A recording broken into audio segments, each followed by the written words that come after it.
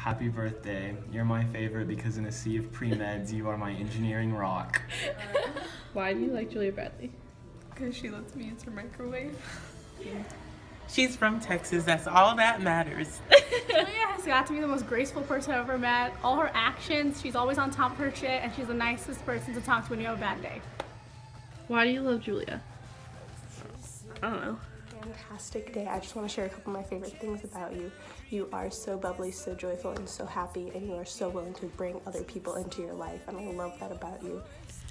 I love Julia because in a period of nine months, she's already become one of my best friends. And she's got this crazy, ridiculously amazing Jesus love. And she says Reese's Pieces, like me.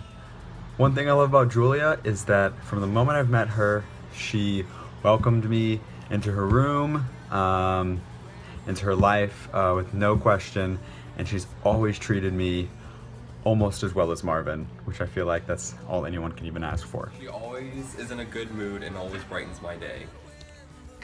I just think Julia is super funny and faithful, and I look up to her a lot and think she's super duper duper awesome. Julia just has the type of presence that makes the room a lot happier, so I know that if I'm in the same room as Julia, I'm bound to get happy too. Hi Julia, you're a doll and I love your joy and your optimism and I'm so grateful to have got to know you this year. Happy birthday! What do I love about Julia? I love her joy and positivity and that she stares into the sun.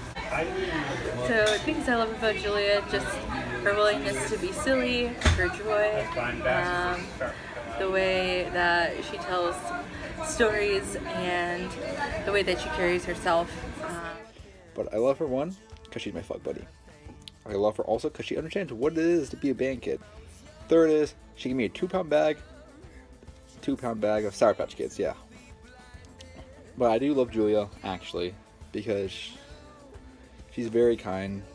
She's open minded to other ideas, but she's still strong with her ideals. Julia, aka the Jules, aka Jules Bradley, aka Boo Radley, aka the Julia Bradley.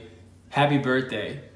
Thank you for being funny, and also thank you for being humble when others are funny and roast you back.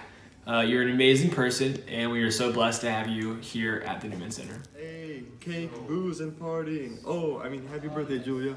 Hope you have a blessed day. I cherish all the memories I had in the past together, and I'm looking forward to make many more with you. Peace out, home slice.